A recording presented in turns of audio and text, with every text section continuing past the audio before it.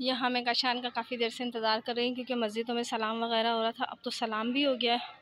पता नहीं अभी तक आए नहीं है। लेने के लिए गए मैं कशान को। क्योंकि मैंने बस अफ्तारी भी ऐसी करी कि बस उसके वो आ जाए बस जल्दी से। क्योंकि आपको पता दस दिन हो गए उससे। कशान आ गए घर पे। मिल लिए सबसे। बस अभी अंदर आ गए।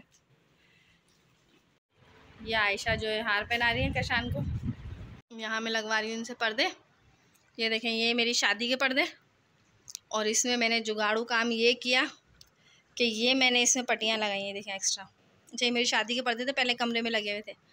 तो कमरे में अब बिल्कुल भी पर्दे वगैरह कुछ भी नहीं है तो मैंने इनको बीच में से जोड़ा। जोड़ के मैंने दो पर्दों को एक किया, ये देखें कितना बड़ा हो गया। इसको बीच में से मैंने जोड़ के और ऊपर इस तरह से ये पट्टियाँ बनाई हैं। ये देखें जैसे ये लगा रहे हैं ना, ये पट्टियाँ इस तरह बनती हैं इसमें। ये इस तरह पट्टियाँ लगा के मैंने ये बाहर के पर्दे बना दिए। ये देखें, ये लग गए हमारे पर्दे। ये ये यहाँ काम आ गए अब। सत्रह अट्ठारह साल पुराने पर्दे यहाँ काम आए। ये मैंने पर्दे लगा दिए। अच्छे लग रहे हैं, माशाल्लाह। वालेकुम माय यूट्यूब फैमिली। कैसे हैं आप सब? उम्मीद करती हूँ आप सब खैर खैरियत से होंगे और आप सबको बहुत बहुत ईद मुबारक। तो यहाँ मैं तैयार कर रही हूँ ईद के लिए शीर कौरमा।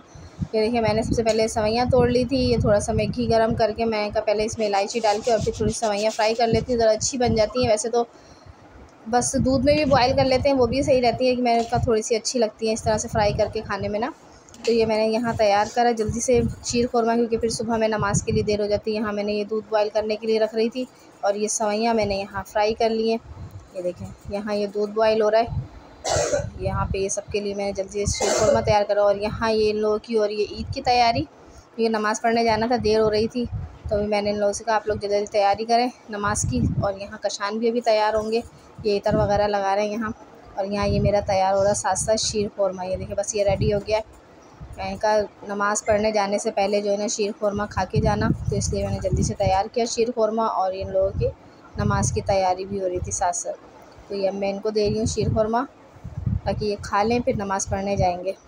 और ये यहाँ कशान भी तैयार हो रहे हैं, नमाज़ के लिए सुरमा वगैरह लगा रहे हैं। ये मैंने सास के लिए निकाल ली है, सवैयाँ। बस उनको देती हूँ जाके। आप चलते नीचे। अच्छा। ये मैंने आप लोगों को आयशा की जो शॉपिंग की थी, वो मैंने दिखाई नहीं थी। मैंने कहा था नेक्स्ट वीडियो में दिखाऊँगी। तो ये मैं आप आप लोगों को दिखा रही हूँ। देखें, ये मैंने ली थी इसकी चूड़ियाँ, ये वाली मल्टी शेड में। और ये क्लिप वगैरह लिए थे, ये और ये वाली चूड़ियाँ ली थी कांच की ना। ये वाली चूड़ियाँ थी। अच्छा ये वाला सेट जो लिया था, ये कशान ने लिया था अपनी तरफ़ से आयशा के लिए? तो बस ये मैंने कहा, बुंदे तो नहीं, बुंदे अच्छे नहीं लग रहे, बस सिर्फ़ नेकलेस की वजह से जो है हमने ये सेट ले लिया था। ये चीज़ें ली थी। और आयशा की चप्पल, आयशा चप्पल दिखाओ। चप्पल ली थी वहाँ से। और ये वाली चप्पल ली थी हमने आयशा की। क्योंकि बस सिंपल सी रहती वो नग वगैरह जो लगे हुए होते हैं, वो इसलिए नहीं ली कि फिर वो निकल जाते हैं, बेकार हो जाती हैं। तो बस ये सिंपल सी चप्पल ली थी कि अच्छी भी लगे और पहन भी लें। और ये आयशा ने रात को लगवाई है मेहंदी। दिखाएँ आयशा हाथ, आगे करो। यहाँ हो गई आयशा की तैयारी स्टार्ट, क्योंकि मैंने कहा आप तैयार हो जाओ। मेरे हस्बैंड और कशान तो जो दोनों जो है वो नमाज़ पढ़ने चले गए मैंने कहा उनके आने से पहले जो है ना आप जल्दी से तैयार हो जाइए। आयशा की फिर मैंने रात को मेहंदी लगवाई, सामने लड़की रहती है। मैंने उनसे कहा, आप मेहंदी लगवा लो क्योंकि आपको पता है बच्चों की तो ईद होती है। तो मैंने फिर इनको जल्दी जल्दी मेहंदी वगैरह लगवाई रात को और फिर इनका ये सूट रखा था एक। तो इसके साथ दुपट्टा नहीं था, दुपट्टा लेकर आई। फिर मैंने कहा, यही पहन लेना ईद पे ना। फिर मैंने ये इनका ये सूट सिलवाया और आप लोगों को शायद मैंने दिखाया नहीं था। ये रखा हुआ था घर में ये मैंने सिलवाया तो ये रात को सिल कर आया था देर से तो इसलिए भी मैंने आप लोगों को दिखाया नहीं। इस ड्रेस पे जो है दुपट्टा रख कर लेकर आए थे तो रात को जो है देर हो गई थी काफ़ी और पीको वाले की दुकान पे भी बहुत रश था तो फिर मैंने दुपट्टे पे पीको नहीं करवाई। मैंने कहा चले अभी आप ऐसे चला लें बाद में जो है ना देखेंगे ये कि नया सूट तो हो ही जाएगा पहनने के। अस्सलाम वालेकुम माय यूट्यूब फैमिली आप सब कैसे हैं? उम्मीद करती हूँ आप सब ठीक होंगे। आप सबको ईद बहुत बहुत मुबारक हो। ईद मुबारक। ईद मुबारक। मुबारक अजान, आप भी बोलो। अजान। अजान, बोलो ईद मुबारक। ये ईद मुबारक, जल्दी से। हसन आप बोल के दिखाओ। ये देखो भाई, हम सब की तरफ़ से, हमारी पूरी फैमिली की तरफ़ से, आप सबको ईद बहुत बहुत मुबारक हो। और ये मेरी मम्मा के मेहंदी लग रही है मेरी कुप्पो की बेटी मेरी मम्मा के मेहंदी लगा रही है। मम्मा, दूसरा हाथ भी दिखाएँ। और ये वाली मेहंदी तो मम्मा ने अपने खुद लगाई है। मेरी मम्मा को लगाना आती है, लेकिन मेरी मम्मा खुद ही नहीं लगाती। और ये मेरी दूसरे हाथ पे मेरी कज़न से लगवा रही है। और ये इन्होंने भी मेहंदी लगाई हुई है। दिखाओ तक भी मापी। वो वाली भी दिखाओ। देखें।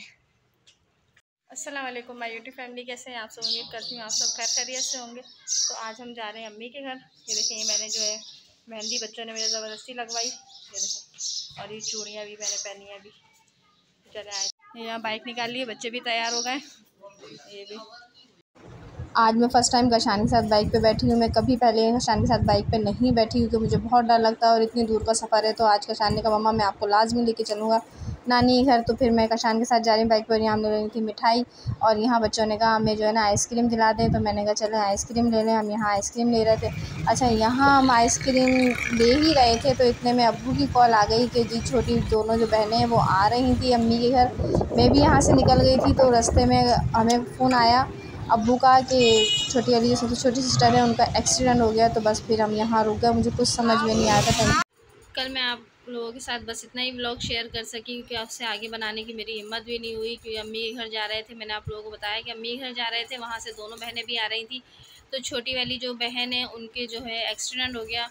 कार वाले ने पीछे से मारा उन्हें और जो है वो बाइक से बहुत दूर जाके गिरी। तो उनके सर में भी काफ़ी टाँके वगैरह आए हैं और भी काफ़ी चोटें लगी हैं उनके। लेकिन अल्लाह पाक का लाख लाख शुक्र है, लाख लाख एहसान है कि छोटी बच्ची जो उनकी अभी हुई है, वो अल्लाह पाक ने बहुत करम किया, बहुत करम किया कि वो ठीक है। और बस बहन के मेरी बहुत चोट लगी है। बस आप लोग भी सब दुआ ज़रूर कीजिएगा कि उनकी जो है तबीयत बेहतर हो जाए। कुछ क्योंकि तबीयत बहुत ख़राब थी, उनकी कल भी काफ़ी चोटें वगैरह लगी है। सर में भी बहुत टाँके आए तो बस ये टेंशन थी तो मैं इसलिए आप लोगों के साथ और मज़ीद आगे ब्लॉग नहीं बना सकी। बस जो मेरी रूटीन थी, वही मैंने आप लोगों के साथ शेयर की। क्योंकि ईद का दिन होता है, हम भी कहीं नहीं जाते हैं और ना कोई हमारे ज़्यादा आता है। तो बस हम लोगों की यही रूटीन होती है। घर में होते हैं, बस कल तो कल बच्चे ज़िद कर रहे थे कि चले, नानी घर चलते हैं थोड़ी देर के लिए कशाने का मम्मा, मैं आपको बाइक पे लेके चलता हूँ। मैं कभी नहीं गई उनके साथ तो बस कल गई थी मैं। और फिर वहाँ से अम्मी घर जा ही रहे थे, रास्ते में ही थे तो वहाँ से कॉल आ गई कि ऐसे ऐसे जो है छोटी बहन का एक्सीडेंट हो गया। तो बस फिर हम सब वहाँ चले गए थे। बस आप लोग ज़रूर दुआओं में याद रखिएगा और दुआ कीजिएगा मेरी बहन के लिए कि अल्लाह पाक उसको सेहत दे, तंदुरुस्ती दे। उनके हस्बैंड के भी लगी, लेकिन बस अल्लाह पाक ने बहुत करम किया, लेकिन छोटी वाली जो बहन है, उनके बहुत चोटें आई हैं।